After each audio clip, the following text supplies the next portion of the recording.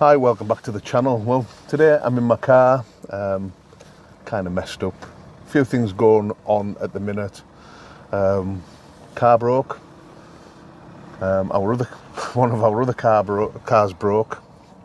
Then the van started playing up, and then one of the newer cars that we've just bought that's also started playing up as well. So we've got one that's replacing one, and we're in the process of selling that. But anyway, just car problems, and that's impacted um, on my thinking over the last couple of weeks. So I forgot to book the van in for its MOT. So currently we have no MOT on the van, and we're waiting for it to uh, to go in next Wednesday. But today we find ourselves on our way to South Shields. Never been here before, but we're off to see Rod and Sue. Um, if you follow our Facebook group, you'll see that they lost their van to um, an arson attack two weekends ago.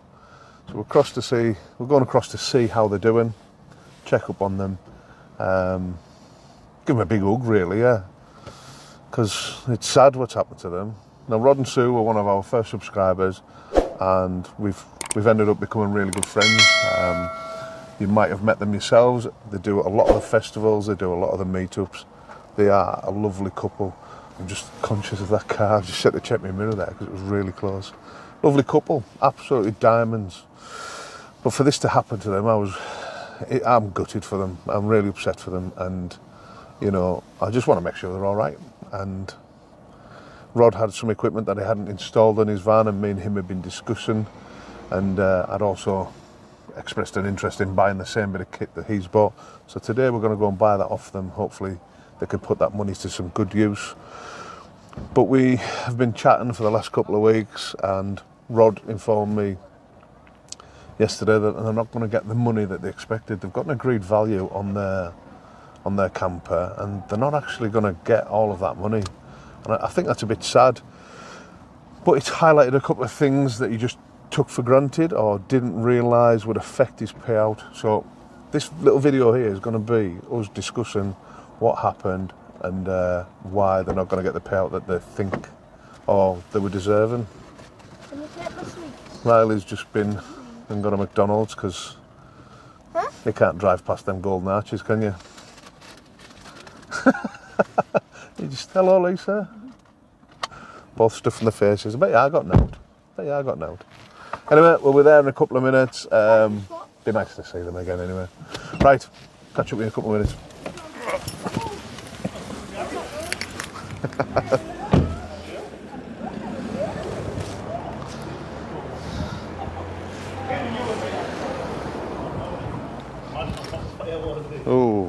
Like road's all scorched. Uh, we had the road done clean, but it's Yeah. still found out in the one. Drain pipe's gone as well, eh? I know.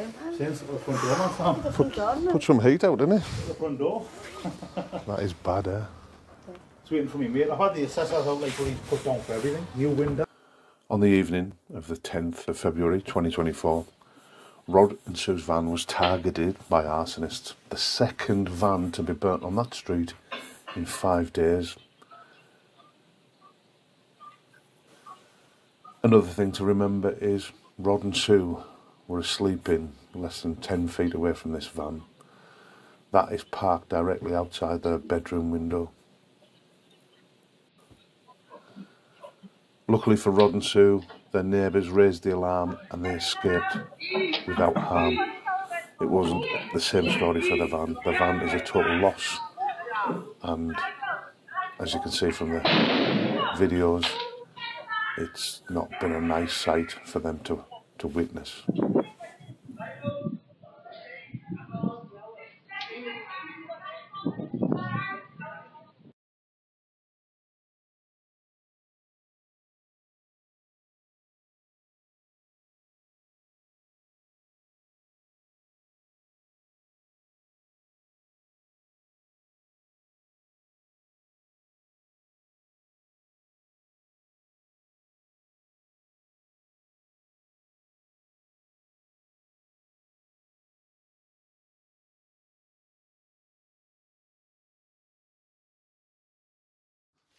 So we're in Rod's cave, his man cave in the yard. we're going to have a look at his little scooter. Hang on, let me zoom out. Let me zoom out. Tidy. They're quite big, they're heavy, mind you. Yeah.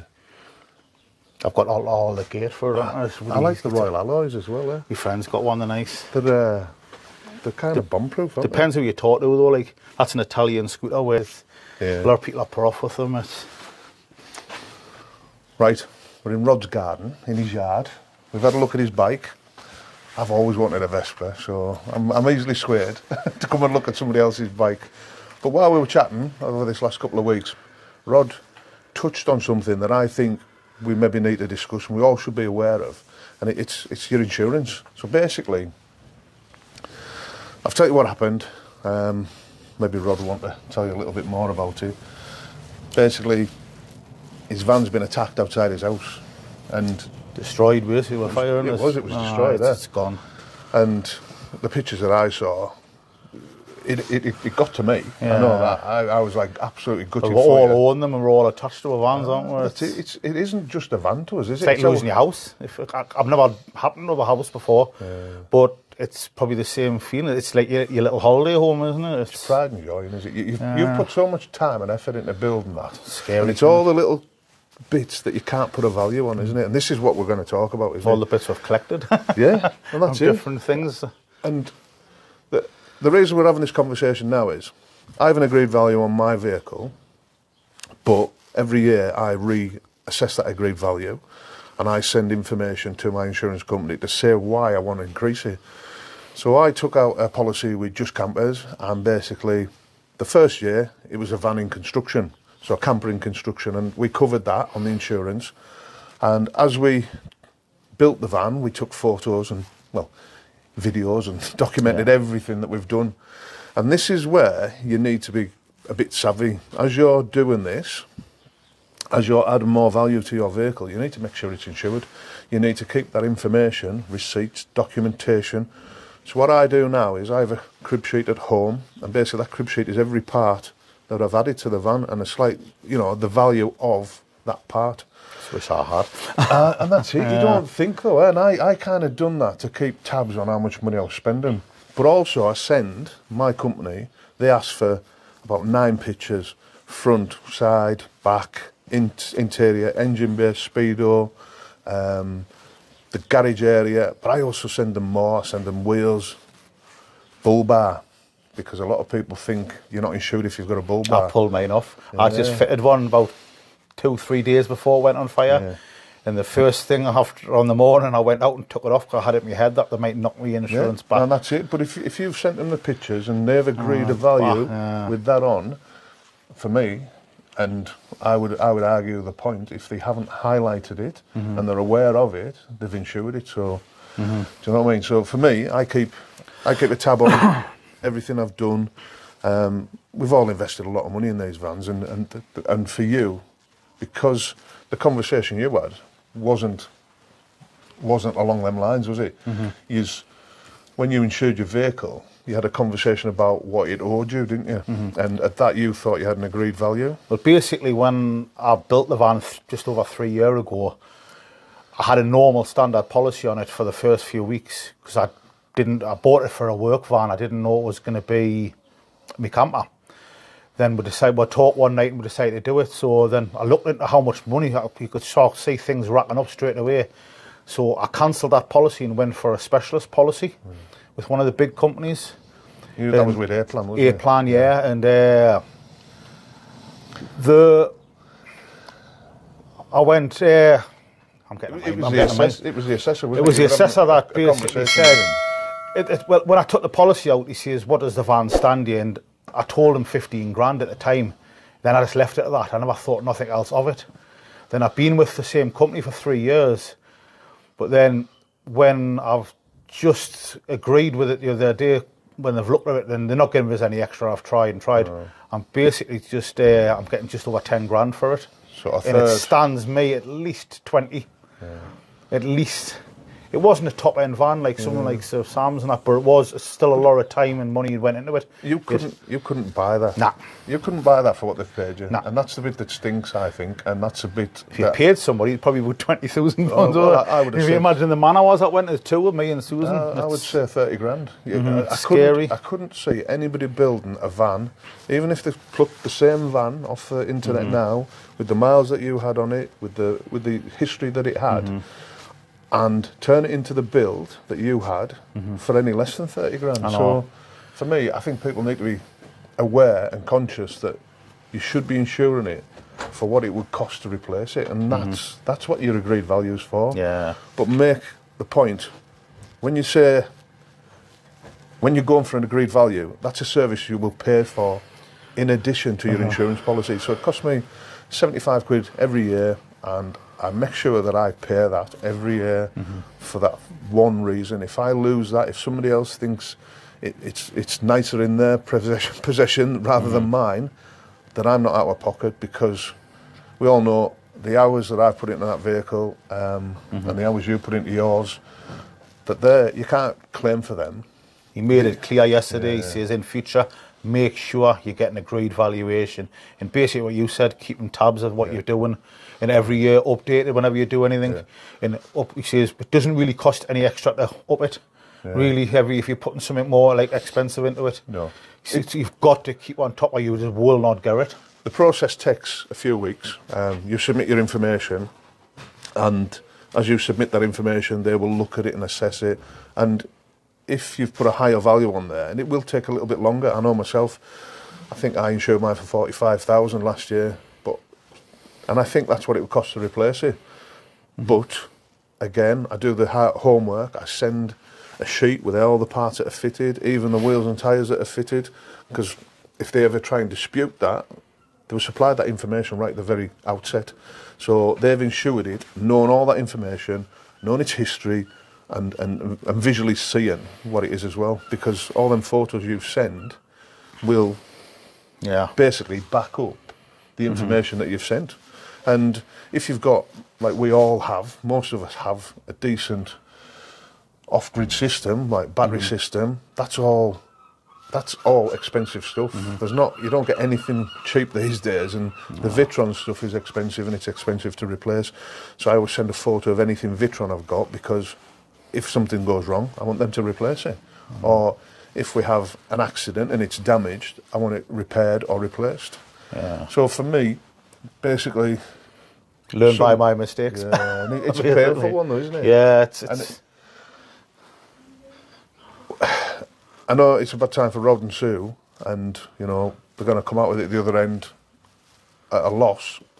But if we can stop this happening to somebody else, Yeah. it's it's you know. it's learned me. If I do one again, Well, that it, I will. I'll do it down the right tracks this time. Know that's what I mean? what It's pricked my conscience last night.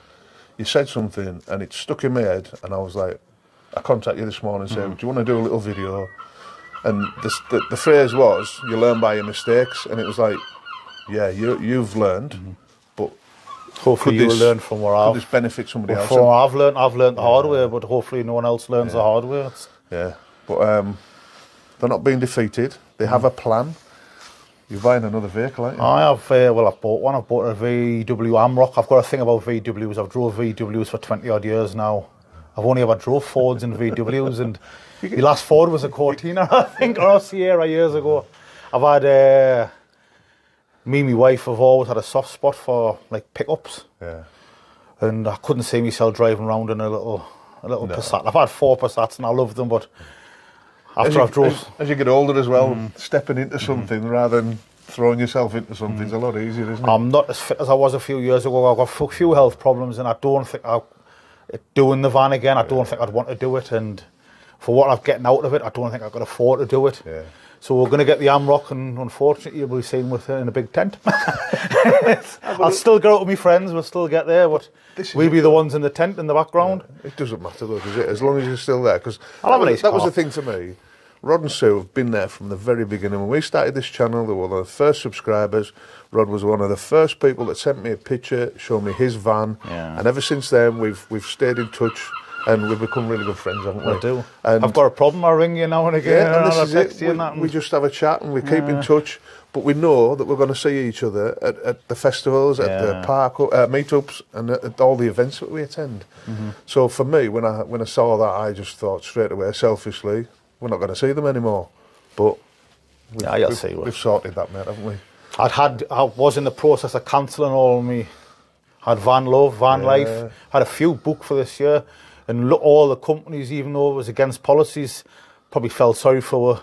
They were going to give our money back, but then we decided, bugger it, I want to get it done. I'm not going to let scumbags defeat her. No. We No, mightn't have no, the no. van we had that we loved, but we'll still get out and enjoy with our friends, you know what I Yeah. mean? So, Come back into shop, mate. You keep stepping on. I know. So but uh, we're, we're in a tiny little yard at the back of the house. We're getting the women and folk are watching us and pointing. I don't know what they're pointing at, but I don't. No, It's nosy it- women. We've had a we've had a good chat. We've had a good catch up. Mm-hmm. Um, but yeah, it's it's been a sad time. But let's Yeah. let's take some positives from it. yeah. And and try and educate or share. It Your happened two weeks ago and I was very upset about it, but now it's life's too short. So to get on the best you can with what you've Two got. weeks tonight, wasn't it?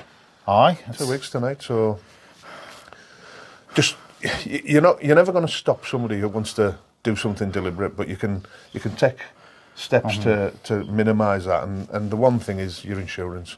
And you know we're paying top money for stuff. I know myself. I pay about 400 quid a year, and that includes all my um, agreed valuation and everything else. But That's a lot less than me. I was paying, my mate this year was 700. But uh, I had a couple of when I was taxiing days, I had a little bit of, my license is clear, but you know, you've got to declare for five years. Yeah. They're finished now. Yeah. But they were like from this policy, but my Naughty- was about 700. Talking to the customers too much when I was driving, not realising how fast I was going. But uh, That's- that- isn't that default setting on taxis? Going to and from I talk too much. That's my problem. Aye.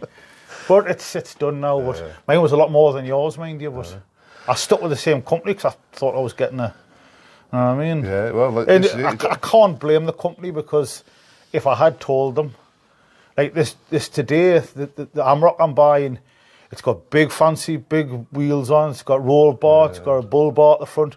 And I've told them, and he says they wouldn't even up your insurance. Them sort of modifications aren't. I think it's more down to oof, like speed and things, power. So you've got to let them know anything you do because even though, even though they don't matter, they probably would matter in a, in a claim situation. You know what I mean? You've, I'm listening to seagulls there. I, I haven't realised. we're We're from really about two mile away from the coast now, but so where I live, we're three mile away from the coast, and this is constant for us. I keep forgetting you're on the other coast when you're. So we, we, today we've done a three-hour journey from one side of the country to the other. But uh, no, it's been good catching Sunny up. Sunny South Shields. Come on, Hi, Andy. good to see you, mate. Not be long before we're away again, man. See you later. Thanks very much, guys.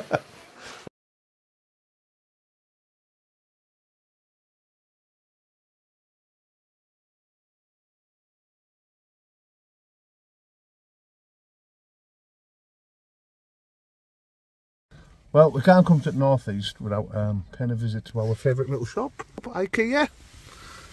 See what the quid there.